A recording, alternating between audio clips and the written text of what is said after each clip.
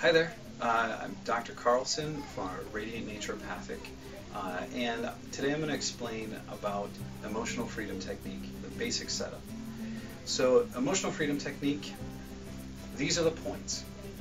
The karate chop point on the side of your hand, top of your head, the inside of your eyebrow, the outside of your eyebrow, under your eye, under your nose, under your bottom lip, by your collarbone, and then um, it's actually on your center line about halfway, it's about a hand width below your armpit if you're a man, or it's about at the bra line if you're a woman.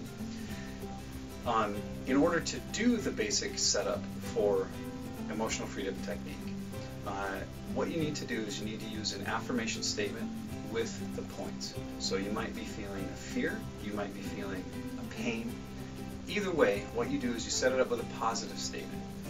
Even though I feel this fear, I love and accept myself. And then you describe where the fear is while you're tapping the points. Top of the head, inside of the eye, outside of the eye.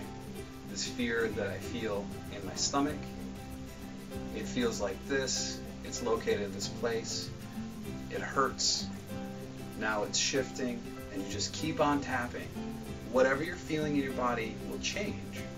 And as long as you keep tapping the points, it'll be uh, able to resolve and release.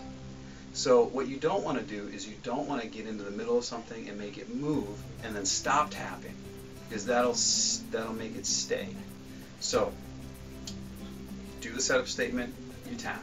When it's done, then you stop tapping. Deep breath in and out, and that's it.